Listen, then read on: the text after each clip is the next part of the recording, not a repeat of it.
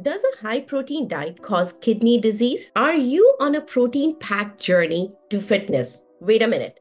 Could your high protein diet be secretly affecting your kidneys? Let's uncover the truth. Hello, health warriors. I'm Dr. Priyanka Mathur, your health and wellness advocate, here to guide you through the maze of nutrition and kidney health. Today, we are dissecting the high protein diet and its impact on your kidneys. Stay tuned for some eye opening insights. So, let's start with the basics.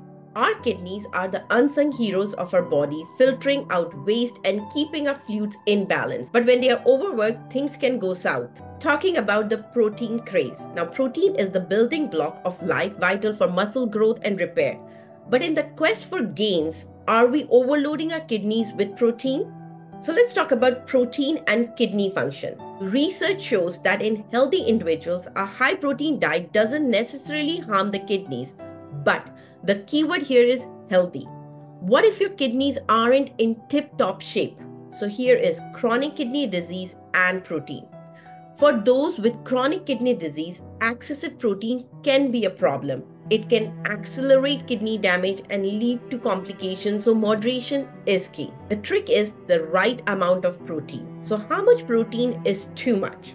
It depends on factors like your age, activity level, and overall health. A balanced approach is crucial to avoid putting unnecessary strain on our kidneys. Safe is to aim for 0.8 grams of protein per kilogram of body weight, unless you are an athlete or a bodybuilder. Now, let's talk about sources of protein. Not all proteins are created equal.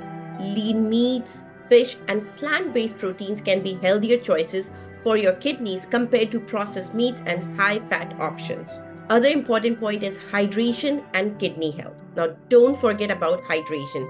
Drinking plenty of water helps your kidneys flush out the excess protein and waste products. It is important to monitor your kidney health. Regular checkups are vital, especially if you are on a high protein diet. Monitoring your kidney function can help catch any issues early. In conclusion, a high protein diet isn't a one size fits all.